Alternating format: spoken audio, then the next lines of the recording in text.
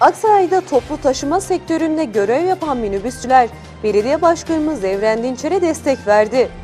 Belediye önüne gelen yaklaşık 150 minibüs esnafı, belediye ile ilgili aralarında hiçbir sorunlarının olmadığını beyan ederek, tatsız olaydan dolayı Başkan Dinçer'in yanında olduklarını ifade ettiler.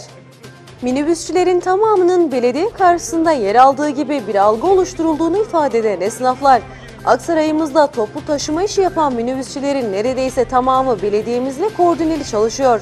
Aksaray Belediyesi bizim de belediyemizdir. Olaya sebep olan dolmuşçular küçük bir gruptan oluşuyor. Yaşanan olayları kınıyoruz. 150 toplu taşıma aracıyla yanınızdayız diyerek desteklerini ifade ettiler. bazı şeylerimizi ilettik. Sağ olsun başkanımız da e, isteği alıp olabilecekleri halledelim dedi. Buradan ayrılıyoruz. Sağ olun. Verdiğiniz destekten dolayı, üzüntümüzü paylaştığınızdan dolayı dün bir elim olay yaşadık. Üzücü bir olay yaşadık. İnşallah bir daha tekrar etmemesi ümidiyle biz de her zaman sizin yanınızda olduğumuzu belirtmek istiyoruz. Yapmış olduğumuz düzenlemeler, getirmiş olduğumuz yeniliklerin hepsi şehrimiz için, sizlerin için zaten.